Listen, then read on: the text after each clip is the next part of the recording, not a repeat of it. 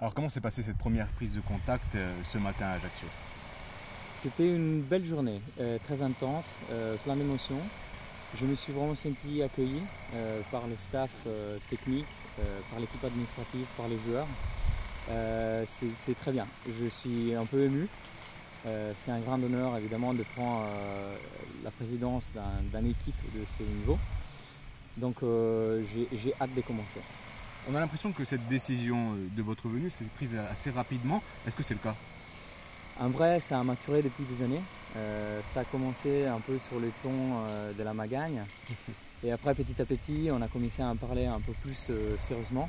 Et effectivement, ça a accéléré cet été. euh, et cet été, ça s'est clôturé assez rapidement.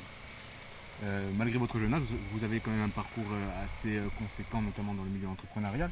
Est-ce que vous pensez que ces expériences sont compatibles avec la gestion d'un club de foot?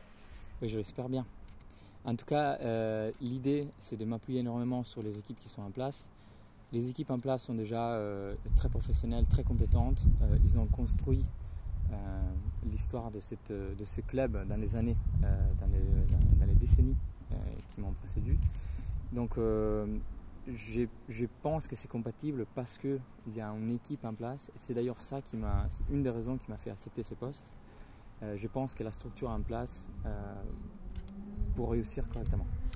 C'est vraiment cette vision de l'entreprise que vous voulez amener euh, dans ce club, la vision de l'entreprise? Je pense que c'est un des angles qu'on va travailler, certainement. Euh, c'est pas le seul, ça serait un peu réductif, je pense. Euh, c'est certainement là où j'ai la plus longue expérience, donc euh, dans ces dernières 15 ans. Euh, après, je pense que l'écosystème dans lequel on va s'intégrer va faire qu'on va construire ensemble l'expérience dont on aura besoin. Vous succédez à Alain Orsogne, c'est le président emblématique du club. Il reste malgré tout tout en haut de la holding propriétaire du club. Est-ce que la direction que vous allez donner à cette entreprise euh, va aller dans le même sens que celle du président Orsogne Euh, Je pense que surtout au départ, on va s'inscrire dans une démarche de continuité. Euh, c'est mon objectif primaire. On parle aujourd'hui d'un euh, club euh, professionnel d'élite et c'est dans ces milieux qu'on veut rester. Et donc euh, certainement, on va s'inscrire dans la continuité euh, sur, sur ce point de vue.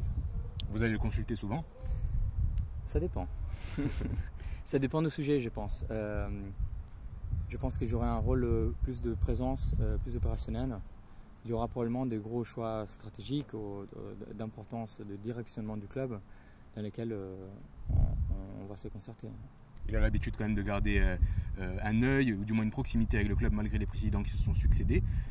Vous allez réussir à vous émanciper? C'est à voir. Je pense que c'est l'idée. Donc c'est l'idée de notre discussion commune, c'est c'est son idée. Euh, de laisser un peu plus la main libre. Euh, donc j'espère de ne pas les décevoir de ce côté. Euh, Plus largement, la CA a fait un bref passage en Ligue 1 et maintenant en Ligue 2. Euh, Est-ce qu'on rentre dans une phase de reconstruction avec, au vu des résultats sportifs et avec votre venue bien sûr? Euh, difficile pour moi de vous parler des résultats sportifs euh, maintenant. Je pense que Olivier et Johan vous sauront mieux répondre que moi.